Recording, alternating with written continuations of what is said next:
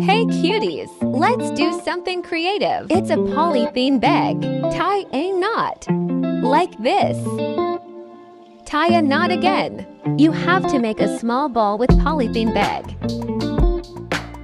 Paint, paint, paint. Satisfying.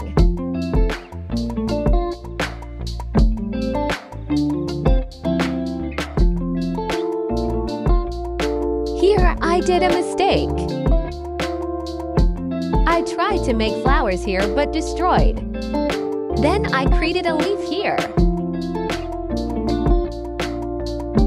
I was so nervous about it. Now it's time for stems. I forgot to turn on the lights. This was the final result, but I was not satisfied. So I take tissue paper and do that same process.